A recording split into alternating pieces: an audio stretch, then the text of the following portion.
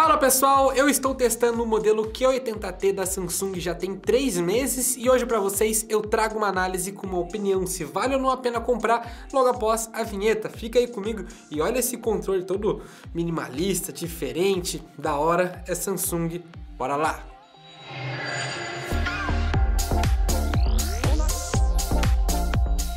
E eu quero começar esse vídeo deixando claro que a minha análise é baseada no que realmente importa, pelo menos para os meus gostos pessoais, quando eu vou escolher uma televisão. Eu não vou ficar aqui falando de múltiplos números, de múltiplos termos técnicos, porque isso para a maioria das pessoas é inútil. Então bora lá, vamos começar falando da TV sobre design. Essa é uma Smart TV bem bonita que segue os padrões atuais de 2020 e conta com bordas bem finas ao redor da tela e a única parte diferente, entre aspas aí, está na logo da Samsung que fica ali na parte inferior central da televisão. Se formos olhar de lado, o produto não é grosso, mas também não é extremamente fino, como alguns outros modelos aí das concorrentes, como o OLED da LG, né, que é extremamente fino numa parte, depois fica uma outra parte ali, né, uma caixa com os componentes, que é um pouco estranho, tem vídeo review aqui no canal, mas essa aí é toda, sabe? Ela não é grossa nem fina, muito fina como outros modelos, é apenas ok. E esse fato dela não ser tão fina até ajuda de certa forma a colocar na sua mesa, no seu rack, no seu suporte, na sua parede,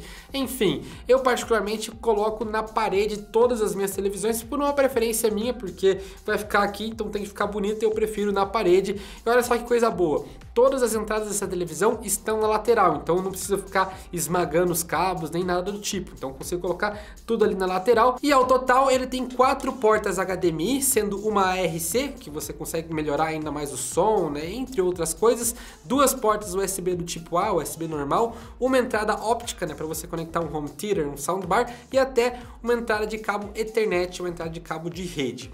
Obviamente, ele também possui uma entrada para cabo coaxial, né, que é a famosa é o famoso cabo de antena de televisão, né, que tem em todo o prédio, enfim, tá ali presente também. Confesso aqui que eu não utilizo todas as entradas da televisão, mas se eu utilizasse ia ficar um monte de fio espalhado, aí você já começa a pensar, putz, verdade, um monte de fio muito chato, como é que resolve isso daí? Bom, eu uso na parede, então pode deixar escondido atrás da televisão, mas se você usa no rack, se você usa na mesa, não se preocupe, porque a Samsung já desenvolveu, já pensou nisso daí. Você coloca os cabos ali atrás da televisão, depois você acopla uma capa plástica que já acompanha o produto e aí o seu problema está resolvido. Não fica esse monte de cabo, esse monte de coisa feia aí. E cara, fica bem bonito, fica só um cabinho mesmo, que é o cabo de televisão, né? o cabo de ligar, o cabo de energia. Sobre a base de sustentação, vale falar que ele imita algo como esse meu computador aqui, tipo um monitor, sabe? É algo bem pesado porque é de metal e passa confiança ao mesmo tempo que como é algo pesado e é algo grande, ocupa bastante espaço no seu rack ou na sua mesa. Então você tem que ficar esperto em relação a isso daí. Vamos abordar agora outro tópico que são o que? As tecnologias embutidas nesse produto, mas eu vou falar aqui das tecnologias de destaque mesmo, porque todas as outras não vale ficar aqui falando, vamos falar o que importa. Essa aqui é uma TV que conta com uma tela QLED 4K com sensor de luminosidade ou seja, ele abaixa o brilho, ele também consegue identificar se você está usando ou não a televisão e aí já coloca um fundo de tela ali para não ficar no famoso burn-in, embora a Samsung tenha proteção de 10 anos contra isso daí, que é o tempo que você demora para trocar de televisão. Enfim, conta também com a tecnologia Quantum HDR, a gente já vai falar sobre isso daí, e inteligência artificial para fazer o upscaling real para 4K que, que significa isso daí? Basicamente, ele melhora a imagem para se encaixar no 4K, até porque essa é uma TV 4K. Então vamos dizer o seguinte, imagina que você está vendo um filme que é Full HD, ele consegue pegar essa filmagem Full HD, faz lá uma inteligência toda e melhora a imagem para ela se parecer com 4K. Mas essa é uma questão de você olhar para você ver a diferença. Então é impossível passar essa percepção para vocês, mas o que eu posso falar uma opinião sincera, acreditem em mim, funciona. O negócio realmente é bom. Já testem em LGs isso daí e funciona também nas televisões da Samsung, bem da hora. A inteligência artificial tá aí, ó, Massa demais. Eu falei aqui sobre o Quantum HDR, basicamente essa tecnologia serve para aumentar ainda mais o brilho. E olha, por ser QLED, a primeira impressão que eu tive foi, caramba, velho, brilha demais. Eu, para quem não sabe, já tenho uma TV OLED da LG concorrente, eu sei, e a TV OLED tem pretos profundos, um mega brilho também, mas essa tipo, nossa, como brilha, né? E aí fica dividido, tem gente que acha melhor a Samsung, tem gente que acha melhor a LG. Eu vou falar assim, eu prefiro no geral a LG, mas essa aqui, cara, fico assim, uou, como ela é brilhante, como ela é brilhosa, como ela sabe? É tanto brilho que incomoda um pouco os olhos, que é uma coisa que você pode facilmente ajustar. Inclusive, você aperta o microfone aqui ó, e pede para a TV, ó, diminua o brilho. Isso é bem legal, bem da hora, mas pode ir nas configurações ou mesmo colocar um modo ambiente ali para ela ficar no automático, ou enfim, você que sabe, mas a gente já fala sobre isso. Outra coisa muito interessante é o controle remoto. A gente já vai falar sobre ele um pouco mais profundamente, né? Mas esse controle aqui, diferente de outros modelos da Samsung, tem microfone. E detalhe, esse microfone ele fica ligado meio que o tempo todo, porque ele serve como um assistente virtual. Então assim, se eu chamar aqui a assistente da Amazon, né, a Alex com A no final, eu não preciso pressionar, então eu não preciso vir aqui apertar, eu posso deixar ele na, sei lá, ele tá perdido por ali no meu quarto, eu simplesmente grito aceite virtual e ele tá funcionando, eu consigo realizar algum comando, fica ali, né, mostrar aquela barrinha azul da Alexa, agora já falei, né, na televisão, e aí ele executa o comando, então você pergunta que oração, pergunta, sei lá, você faz os comandos, tipo desligue a luz, acenda o abajur, aumente o ar-condicionado, esse tipo de coisa, e até ligar e desligar a televisão. E isso isso, obviamente, está ligado ao sistema Tizen dessa televisão, que encontra-se aqui na última versão. Eu acho um sistema bem estável, bem intuitivo. Não é o meu favorito, na verdade, né? Eu prefiro os da LG, não, os da LG não, o WebOS da LG, porque eu acho que ele está à frente em alguns quesitos, principalmente de digitação. Mas aqui tem de tudo, é um sistema que funciona muito bem, bem minimalista, bem simples e que tem de tudo, cara. Você não vai se perder. Ele tem coisas melhores que na LG, mas a LG traz uma coisa que é a digitação, que é um Wear Mouse ali, que para mim é essencial e aqui não tem, então eu prefiro o da LG por causa disso. Mas, como eu falei, você consegue conectar isso aqui a um aplicativo, ao SmartThings da Samsung, que te dá total controle por smartphone ou tablet, além de você fazer a conexão ali com o Google Assistente e Alexa da Amazon, permitindo assim ligar e desligar via comando de voz. Então você pode, sei lá, ah, não quer pegar o controle para desligar a televisão? Você tipo, Alexa, desliga a TV e ele desliga. Ou mesmo você saiu de casa, putz, esqueci, pede pro Google ou pede pra Alexa, desliga a TV ou desligue meu quarto. Ele tá funcionando, ele funciona nesse Smart Home, então isso é bem interessante. Ainda sobre o celular, a TV permite o espelhamento com alguns aparelhos, eu tenho aqui o Galaxy S20 Ultra da Samsung, né, então ele permite espelhamento em alguns aparelhos Android, obviamente os da Samsung estão dentro, e também permite espelhamento com dispositivos Apple, como iPhones, MacBooks, iMacs, iPads e por aí vai, porque tem o AirPlay aqui nessa televisão. É uma ótima funcionalidade, funciona muito bem, serve para você fazer apresentação ou mesmo, sei lá, espelhar a tela para você mostrar alguma coisa para alguém. E olha só que interessante, você pode estar jogando ou assistindo a novela, assistindo um Netflix, enquanto outra pessoa ali da sua família ou seu amigo está espelhando algo na televisão. É um recurso chamado Multiview, eu gostei bastante e não atrapalha, você consegue meio que repartir a televisão, tipo um modo PIP, né, que é o Picture in Picture bem legal, gostei e merece o destaque aí. E é aquilo que eu falei, com Apple funciona 100%, olha que ironia, mas com outros aparelhos Android, não, tipo, os da Samsung funcionam praticamente todos, né? Claro, os topos de linha vão funcionar todos mesmo, né? Acredito que a linha A mais recente também, mas aparelhos da Huawei, né, que não tem mais Google, não sei se funciona. Aparelhos da Xiaomi não cheguei a testar, só testo os que eu tô usando como principal, que são esses dois hoje em dia.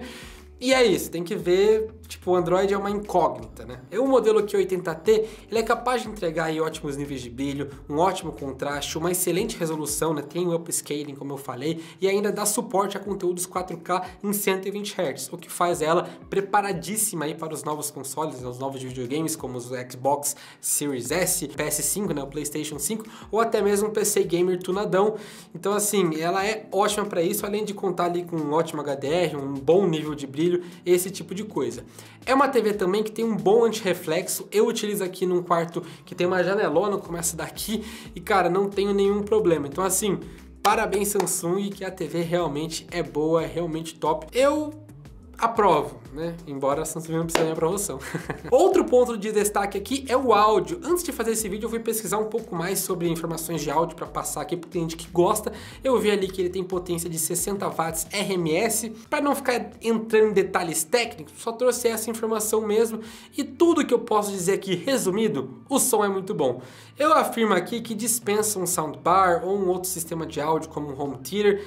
É um som alto, muito satisfatório, não conta com tecnologia Dolby Atmos, é verdade, mas a Samsung colocou aqui o Dolby 5.1, eu já acho muito suficiente para mim. E olha que, cara, eu tenho aqui ó, o Echo Studio, eu tenho Soundbar, eu tenho vários equipamentos de áudio aqui bem interessante. Eu fico muito satisfeito, não sou aquele cara que tipo, nossa, preciso de um áudio mega top.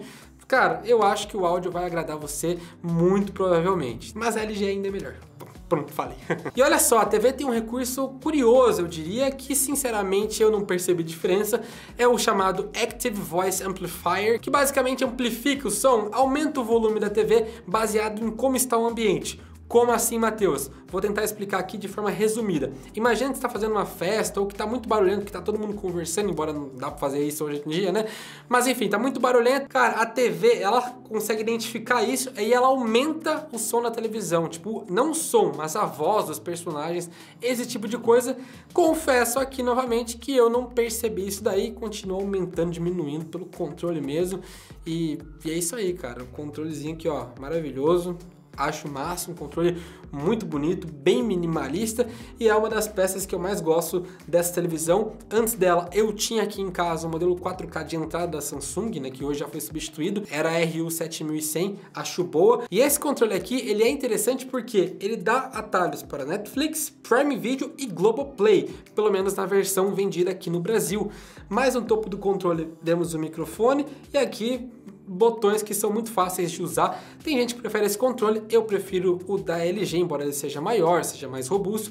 Esse aqui é um controle mais bonito, mais minimalista, é verdade. Tem até esses detalhes aqui que eu acho bem da hora. Tem tudo aqui, faltou o Air Mouse, que eu acho que é o grande diferencial do sistema da LG, como já falei durante o vídeo. Mas vamos falar desse microfone aqui. Você até consegue abrir o Netflix, o YouTube, outros aplicativos um simples comando, tipo, abra o YouTube, mude para o Netflix, mude para entrar na HDMI, esse tipo de coisa.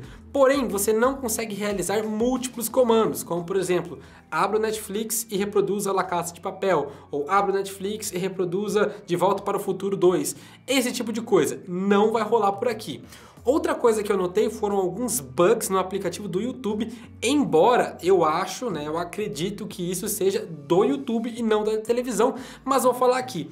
Quando eu ia na função, porque para digitar faltou o Air Mouse, então eu uso o microfone que é uma mão na roda. Porém, quando eu ia apertar o microfone, primeiro, ele ativava o assistente virtual. Não era esse que eu queria, então já não reconhecia que eu estava para digitar no YouTube. Então eu tinha que ir lá no ícone de, do YouTube e apertar o microfone. E aí que eu fazia? Embora a TV estava em português totalmente, ele reconhecia em inglês. Então o aplicativo não é muito bem feito, não é otimizado. Como eu falei, acredito eu que seja um problema do YouTube, mas fica o registro aqui porque é algo que foi bem chato. Tipo, eu não uso o microfone no YouTube como eu uso na minha TV da LG. Mas eu posso pedir para assistente, tipo, abre o YouTube pesquise por. Mas, né, direto do aplicativo, tipo, sei lá, eu quero pesquisar uma banda, tipo Los Hermanos, vai, ah, Los Hermanos, não consigo fazer, é muito chato. Na verdade, até consigo fazer, né, mas vai sair em inglês ali no aplicativo, é meio, meio confuso, né. Conclusão do vídeo, essa é uma televisão que eu recomendo bastante, me agradou muito, um 4K muito top, ao mesmo tempo da TV ser altamente recomendada aí por mim, não me deu vontade em momento algum de trocar a minha televisão OLED da LG por ela, são preços muito parecidos aí, são preços caros, na verdade, são modelos aí muito interessantes, muito bons, e cara, a TV da Samsung é boa, conta com recursos ótimos para quem joga, não é o meu caso, né? Eu dificilmente jogo, inclusive meu videogame tá até no concerto, eu nem tô jogando já tem alguns meses, eu mal testei aqui. Eu testei o videogame, deu um dia, estragou o videogame. Não sei se foi a Samsung, acredito que não. Enfim, pessoal, vale o destaque aqui para jogos por ela ter uma excelente tela 4K, é por ela ser QLED, ter um ótimo brilho, contar ali com tecnologia Quantum HDR, um bom sistema fácil de mexer, Alexa Built-in, ou seja, Alexa integrada, controle aí com o microfone, né, embora não é a melhor coisa que tem. Design é novo e atual tanto do controle como da televisão e por fim tem um som que dispensa um home theater ou um soundbar. É uma TV que, na minha opinião, fica com uma nota 9,5 de 10. Se você tiver interesse em comprar, tem links de compra para cada um dos modelos aqui na descrição do vídeo. E eu convido agora você a se inscrever no canal, deixar o seu gostei, clicar aqui no sininho para habilitar ele e você sempre receber as novidades em primeira mão do mundo da tecnologia. Eu sou Matheus Kais, espero que você tenha gostado de fato. Não se esqueça de me seguir aqui nas redes sociais para sempre ficar a par das novidades, porque eu postei lá quando eu recebi da Samsung essa televisão para testar. Já tem alguns meses, então é bem interessante você ficar a par por lá também para perguntar, porque a gente ah, melhor que Samsung, melhor que LG, melhor que Sony, prefiro isso, prefiro. A gente faz um debate legal por lá. E é isso aí, as redes sociais também estão na descrição do vídeo. E essa é a review, a análise da Q80T, a TV da Samsung que eu gostei bastante, mas que eu acredito que não é melhor que uma TV OLED ainda da LG. E eu falo isso mesmo porque não é querendo puxar sardinha, é porque eu realmente eu tenho uma OLED na sala e tenho uma QLED no quarto. Aí que tá, né? Tipo, qual que eu prefiro? Prefiro OLED, mas vai sair um vídeo comparando OLED com QLED. A gente tá preparando um vídeo bem especial e depois vocês vêm aqui no canal, por isso mesmo, se inscreve. Eu sou o Matheus Kais, vou ficando por aqui e até mais. Fui!